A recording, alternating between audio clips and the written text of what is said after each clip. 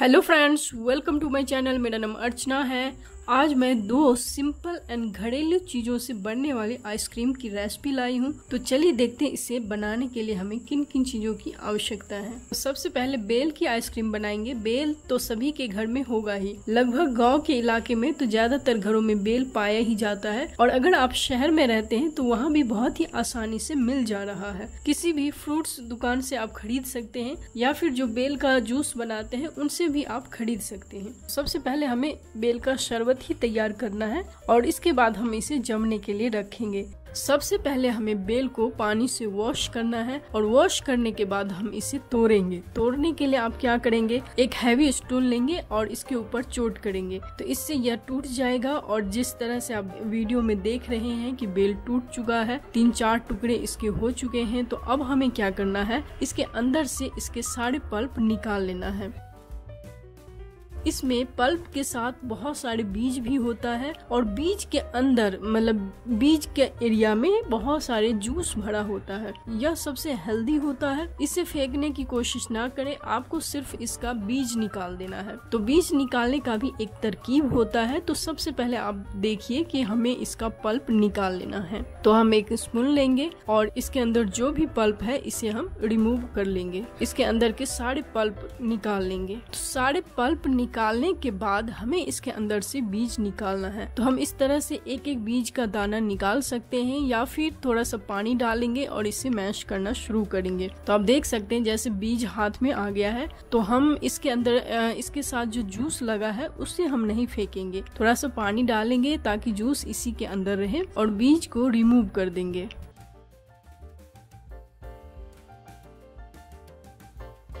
तो आप देख सकते हैं कि मैंने सारे रेसा और सारे बीज निकाल कर रिमूव कर दिया है और देख सकते हैं कि बेल कितना अच्छा है। इसको पीसते समय सबसे पहले जार में चीनी डालेंगे। तो इसमें मैं छह सात चम्मच करीब चीनी डाल रही हूँ। चीनी डालकर पहले हम इसे पीस लेंगे। इसके बाद जैसे यह पीस कर तैयार हो जाता है तो अब हम इसके अंदर पल्प भी डाल देंगे। तो पल्प डालकर भी थोड़ी देर इसे चलाएँगे तो ये देखेंगे कि बहुत ही स्मूथ पेस्ट बन जाता है।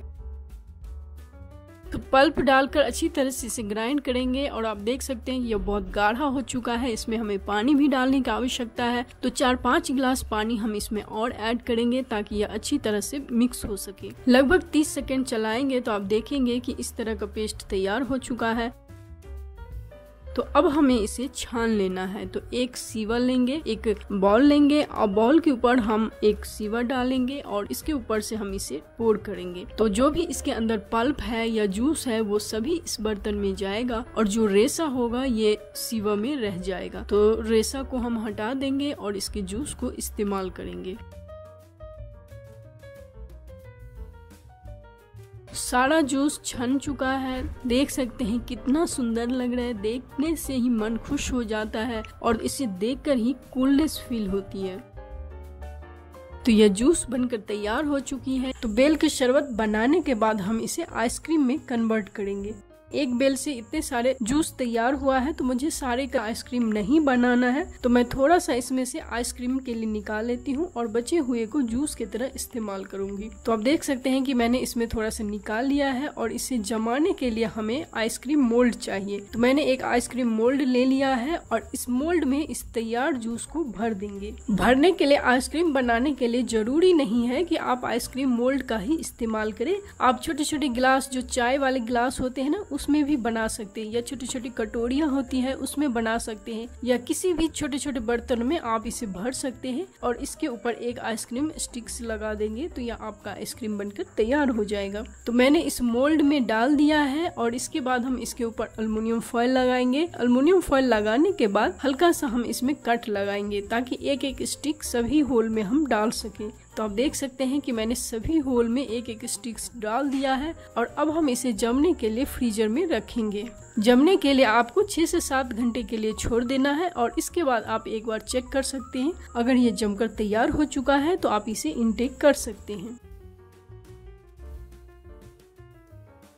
जमते हुए छह सात घंटे हो चुका है और मैंने इसे चेक कर लिया है या जम चुका है तो अब हमें इसे डिमोल्ड करना है। तो डिमोल्ड करने के लिए हम एक बड़े बर्तन में एक डेढ़ लीटर पानी लेंगे और इस पानी में हम आइस मोल्ड को रखेंगे। तो आइसक्रीम मोल्ड को पानी में रखेंगे और लगभग तीस सेकेंड इसमें रहने देंगे। पानी में तीस सेकेंड रखने के बाद इसे हम शेक करके देखेंगे और शेक करने से आप देखेंगे की निकलने लगेगा। ध्यान रखें की बहुत ज़्यादा शेक नहीं करना है, बस हल्का सा आपको इसे शेक करना है ताकि इसमें से आसानी से निकल जाए। तो इस तरह से आप हल्का शेक करेंगे और एक एक पीस इस तरह से निकाल कर ट्रे में रखते जाएँगे।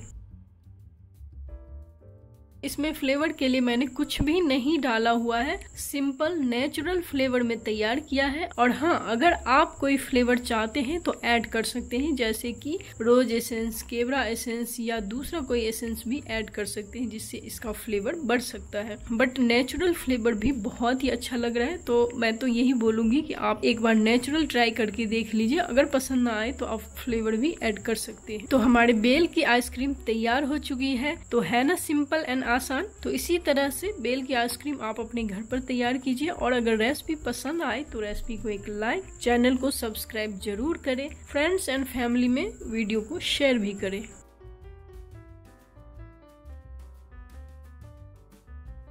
अब हम चलते अपने नेक्स्ट रेसिपी यानी curd ice cream curd ice cream को भी हम बहुत ही सिंपल तरीका से तैयार करेंगे। इसके लिए हमें कर्ड चाहिए। कर्ड आप बाज़ार से भी मंगा सकते हैं और अपने घर में भी जमा सकते हैं। तो मैंने इसे अपने घर में जमा लिया है। तो आप देख सकते हैं कि मैंने लगभग 400 सौ मिल्क को जमने के लिए रख दिया था और इस हिसाब से मैंने लगभग 150 ग्राम चीनी ले लिया है और रोज एसेंस ले लिया है। तो सबसे पहले हमें जितना आइसक्रीम बनाना है, लगभग मैं आठ से दस आइसक्रीम बना रही हूँ। तो इसके लिए मैं इसका आधा दही इस्तेमाल करूँगी। तो मैं इसमें आधा दही निकाल लेती हूँ और इसके बाद इसमें चीनी भी डाल देंगे और इसके बाद हम इसे ग्राइंडर में शेक करेंगे। आइसक्रीम जब तैयार करते हैं तो इसके मिठास का पूरा ध्यान रखें, क्योंकि जब यह आइस बन जाता है तो इसकी मिठास कम हो जाती है। तो शुरुआत में आपको ज़्यादा मीठा रखना है, यानी कि थोड़ा तेज मीठा रखना है, ताकि जमने के बाद जब इसका मिठास कम होगा तो यह नॉर्मल हो जाए, यानी कि जैसा आइसक्रीम आइस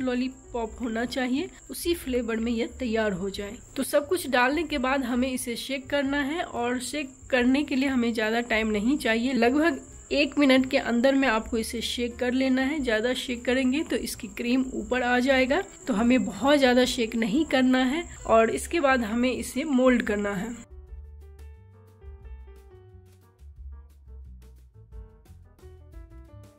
मोल्ड करने के लिए हमें एक आइसक्रीम मोल्डर चाहिए या फिर छोटे छोटे कटोरियाँ, ग्लास इकट्ठा कर लेंगे, कप ले लेंगे, उसमें भी जमा सकते हैं। मेरे पास आइसक्रीम मोल्ड है तो मैं इसी का इस्तेमाल कर रही हूँ। इसमें इसका शेप बहुत ही अच्छा बनता है। तो इसमें हम लस्सी डाल देंगे और इसके ऊपर से हम अल्मोनियम फॉयल लगाएँगे। इसके ऊपर हम थोड़ा सा कट लगाएँगे और सभी में एक एक स्टिक्स डालकर इसे हम फ्रिज में जमने के लिए रख देंगे।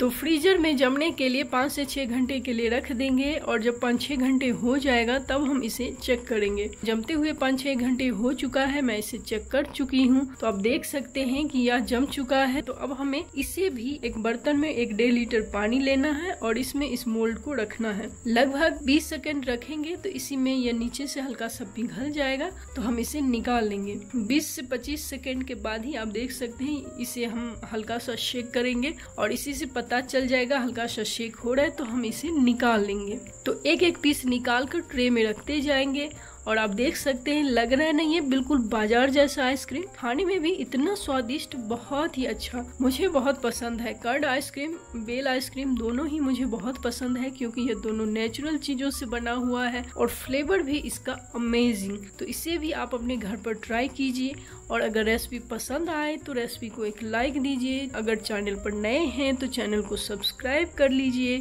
अगर रेसिपी बहुत पसंद आए तो अपने फ्रेंड्स एंड फैमिली में भी शेयर करें। फिर मिलती हूँ एक नई रेसिपी के साथ। तब तक के लिए बाय